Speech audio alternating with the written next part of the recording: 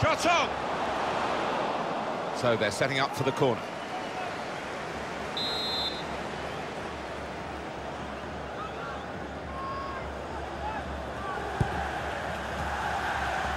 Shots on here. Goal! And the corner opens the way to a score here when the defenders just didn't deal with the first ball in. That's beautifully done for the goal. I know they work hard on these set pieces, and that corner was perfect.